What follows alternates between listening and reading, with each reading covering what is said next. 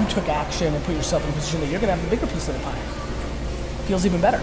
I'm talking to Jim Cavale, disruptive entrepreneur with a passion for social impact. Now, you are a huge name entrepreneurship here in Alabama, in Birmingham. So, Jim Cavale, great guy. Entrepreneurs see a problem and then they see a solution. Without further ado, Jim Cavale. Nice man. 21, like, I, I, can I just have fun and be a kid? The reality is, you're not a normal kid. It's crazy to me that sports teams and their athletes are still relying on the middleman to get their message out, instead of embracing the power of social media to run what really is their own broadcasting network of channels.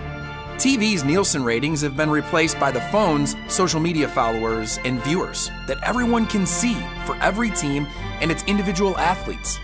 A sports team's total brand reach is a real stat. So are their engaged recruits and fans, just like their wins and losses not just from the team's social media followings, but also from the sum of the followings of the recruits, current athletes, and key alumni.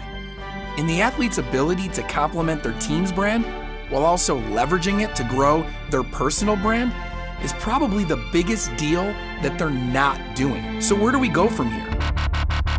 I'm a multiple time Inc. 5000 entrepreneur that has played in the sports tech and fitness franchising spaces over the past decade and I can't watch this sports branding problem from the sidelines anymore.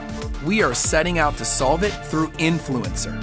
Our software as a service helps sports teams and their athletes unify their messaging and audiences through data, analytics, and content delivery features.